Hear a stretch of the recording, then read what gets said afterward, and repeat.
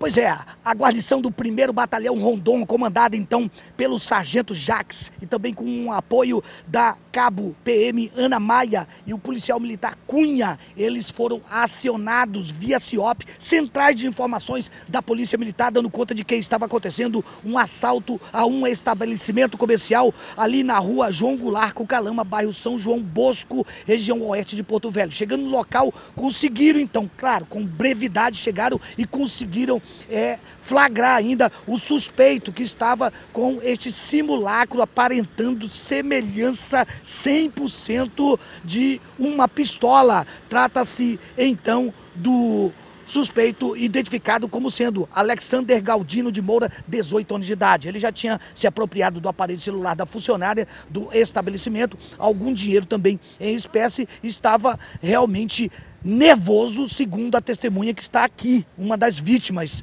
A guarnição, então, do 1 Batalhão Rondon trouxe o Galdino aqui para a central de flagrante. Foi constatado que ele é reincidente pelo mesmo crime. Isso, reincidente por roubo. Artigo 157 do Código Penal Brasileiro. Roubo agora vai ficar fora de circulação. Durante um tempo, talvez. Amanhã, mês que vem, ano que vem, não sabemos. Com imagem de Joás Ferreira, Rosinaldo Guedes para o plantão de polícia, o retrato da realidade sem retoques.